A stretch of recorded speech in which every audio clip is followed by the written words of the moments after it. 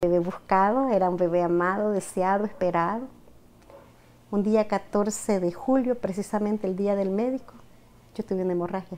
Llegué chocada, llegué con presión de 0 sobre 0 y me pasaron a, a la UCI. Y dijeron que en mi, primer, eh, en mi primer examen yo tenía 3 de hemoglobina. O sea, cuánta sangre había botado en ese momento. Se sospechaba un embarazo ectópico cervical que también una emergencia obstétrica y que, y que según la literatura la mayoría de mujeres mueren si no son tratadas a tiempo. Las opciones que me dieron, hacerme una resonancia magnética para ver si realmente era un embarazo ectópico. Yo en ese camino sentí que me iba a morir, sentía cada piedrita que pasaba la ambulancia, era un dolor intenso y decía la resonancia que sí era un embarazo cervical y que tenía 3 milímetros en lo que es el útero y la vejiga para romperse. Sí tenía frecuencia todavía el niño ahí, pero yo siempre le digo que mi hijo fue más inteligente que todo el grupo de nosotros juntos, porque cuando llegó ya no tenía frecuencia. Pero la cirugía me la hicieron hasta el siguiente día cuando prepararon todo para hacer una cirugía. Yo entiendo a mis compañeros médicos, pero es que lo grave de nosotros es que mis compañeros saben y yo sé qué hacer. Pero en este país las legislaciones nos tienen atados de mano. Porque nosotros como médicos vamos a salvar vidas, no a pensar si nos van, si, si es legal, si no es legal, si tiene foco, si no tiene foco. O sea, yo voy a actuar según protocolos. Nos jugamos la ruleta rusa de quién está en el lugar y según la conciencia y el pensamiento del que está. Porque el conocimiento todos lo tienen. La conciencia, esa es otra cosa. Yo tenía ocho meses de embarazo, hacían falta seis semanas para dar a luz. Pues yo sentí que se me desprendió algo por dentro, como cuando uno anda con el periodo demasiado fuerte.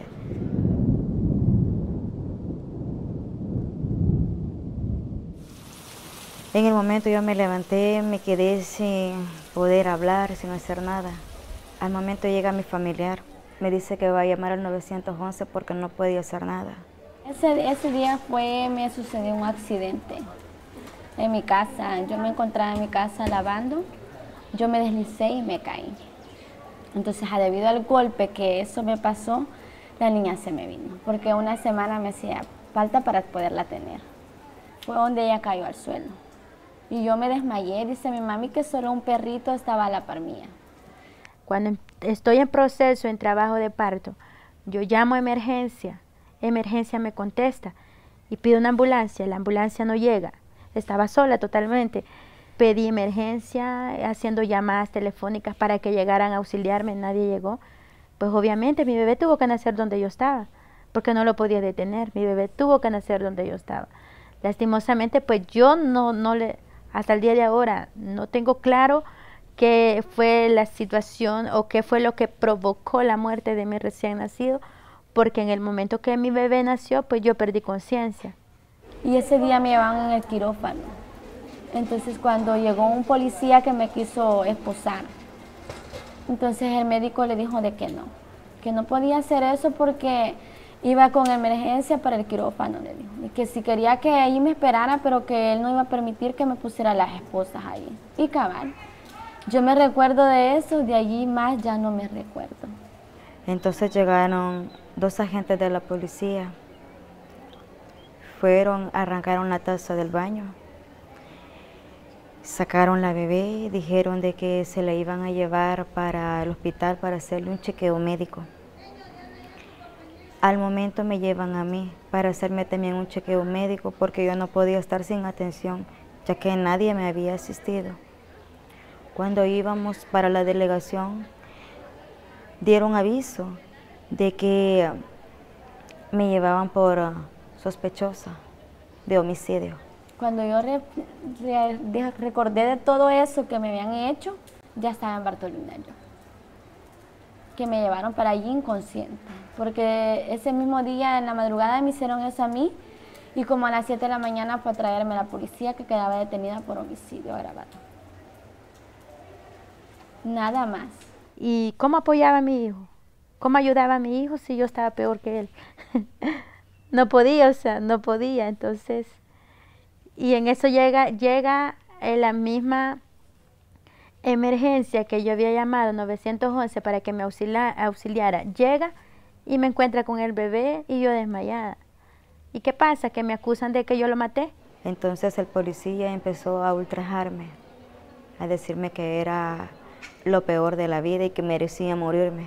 Con mi cuerpo totalmente desangrándome, no fui llevada a un médico, fui llevada a una delegación. En esa delegación, pues, nuevamente otra tortura. ¿Por qué razón? Porque, porque no me golpearon, pero me ponen las esposas hasta arriba, a medida que yo tuviera los pies de puntilla. Claramente yo me estaba, estaba saliendo mucha sangre. Estaba saliendo mucha sangre y se me había desmayado en el momento que, que paría mi hija. O sea, yo me seguía desmayando consecutivamente, reaccionaba, me volví a desmayar y así estuve. Así estuve en la delegación. Al final de todo eso, pues alguien, no sé, no sabría decir quién, alguien le dijo a otra persona que estaba ahí que yo me iba a morir, o sea, esta señora se nos va a morir aquí. Y es mejor que se vaya a morir en el hospital y que no se nos muera aquí. En ese momento me trasladan al hospital de maternidad. El médico me examinó. En ese lugar no había ni camilla ni nada. Me acostaron en un escritorio. El médico me preguntó que quién me había asistido. Yo le dije de que nadie. Y me dijo él de que entonces tenía que hacerme una referencia a maternidad. Porque tenía la placenta por dentro.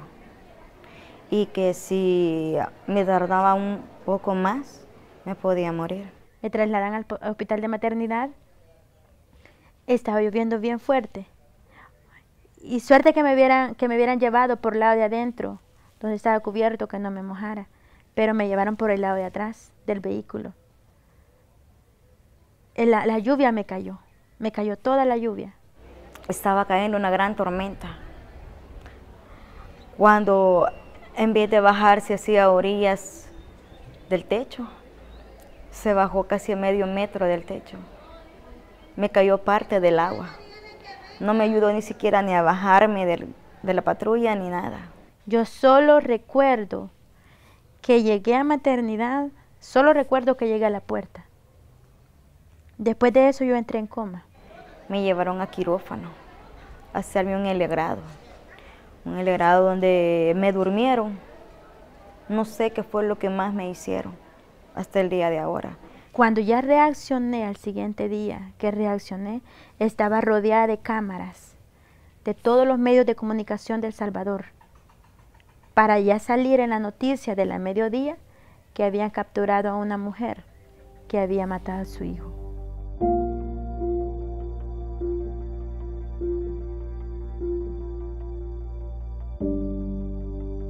Fui llevada a la cárcel, sentenciada a la condena de 30 años de prisión.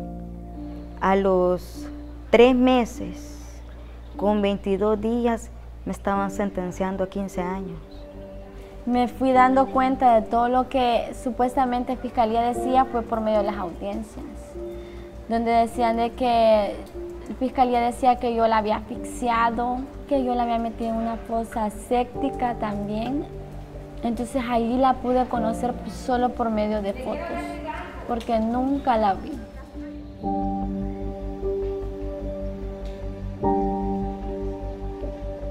Entonces, esta problemática central que tenemos nosotras dentro del marco legal hace que eh, muchas mujeres salvadoreñas vean vulnerado todo lo que tiene que ver con el ejercicio pleno de sus derechos sexuales y reproductivos. Pero en este